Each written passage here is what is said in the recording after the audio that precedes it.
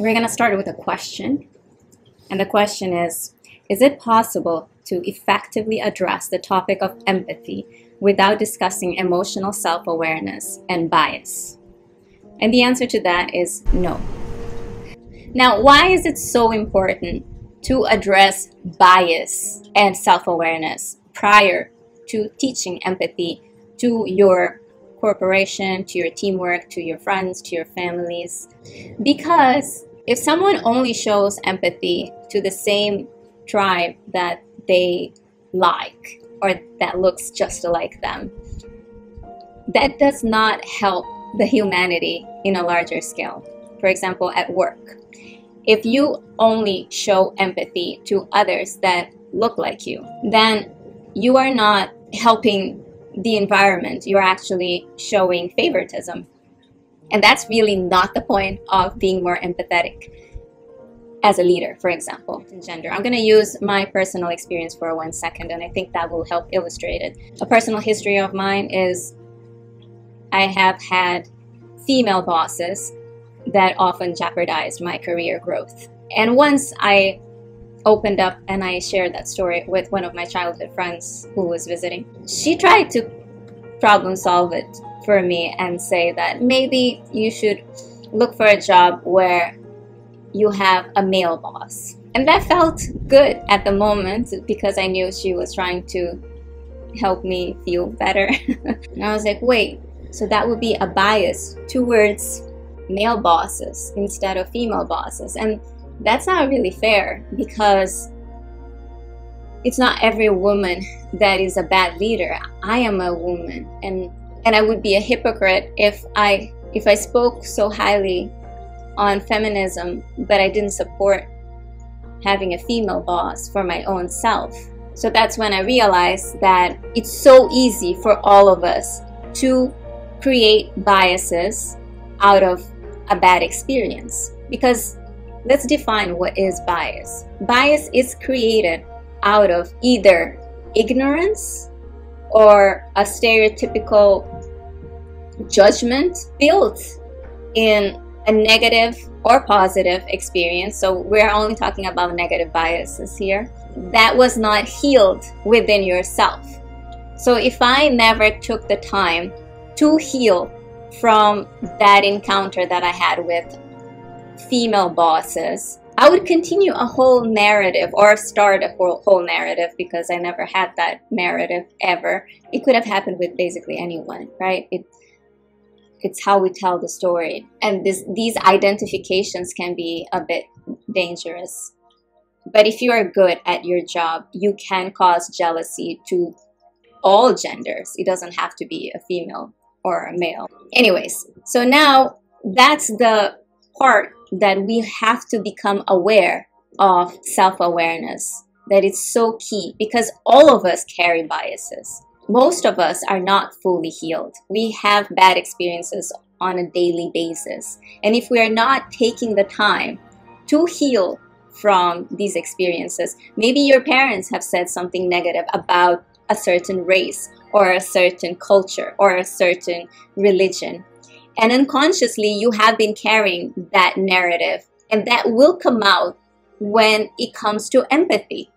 You may only showcase empathy to the people that you like, and that is not fair, and that is not a good usage of empathy.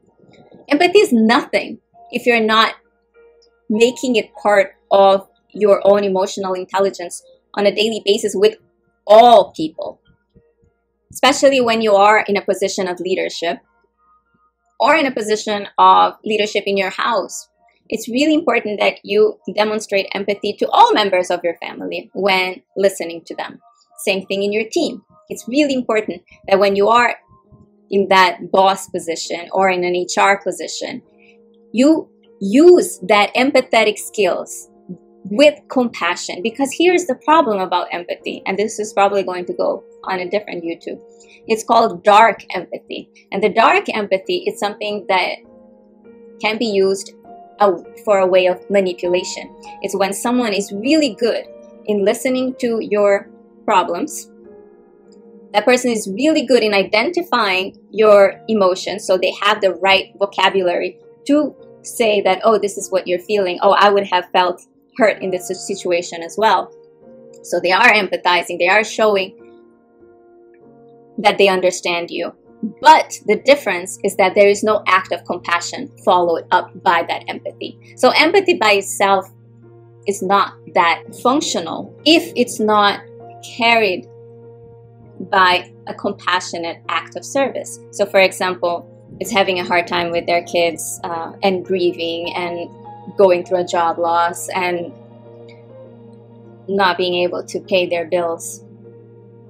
And you listen to their problem. If you only show cognitive empathy, which is the understanding of the emotion without any follow up, you will just hear, like, oh, okay, oh, I'm so sorry that you're going through that.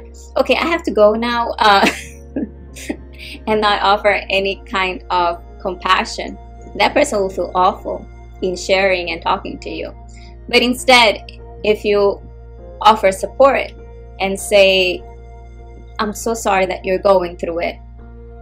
Can I take your kid for this afternoon and give yourself a break for you to do a few errands that you need to run?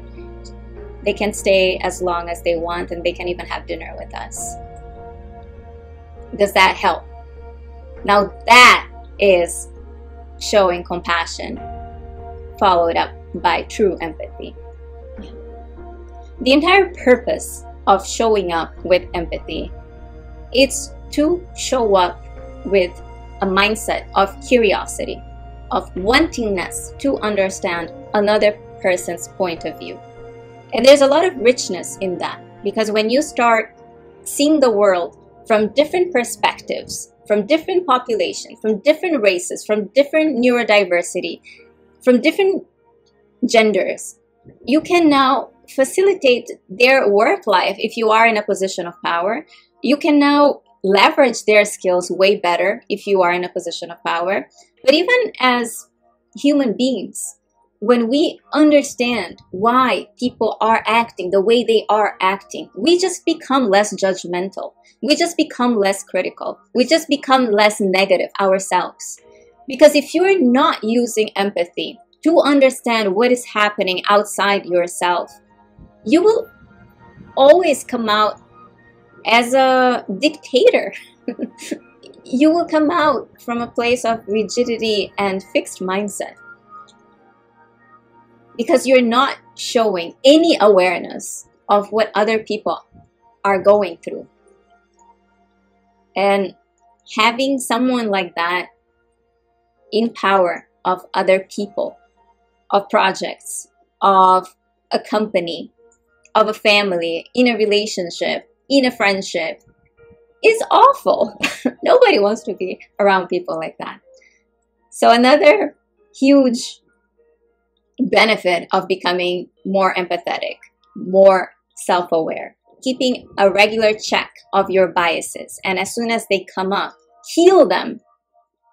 You will become the most attractive person in every room just because of your open mindedness and your lack of judgment towards other people that are different than you. I think more than ever, it's super important to stay away from toxic positivity that will cause mental illness. And if you are someone who only sympathizes and are quick to draw the silver lining when someone is going through something heavy like grief or any other difficult tragedy, if you can show up with full presence and share the emotions that they're feeling, you will take a huge weight out of them because they will feel as they can share the load with someone else is ultimately the true help that anyone going through deep suffering needs to feel.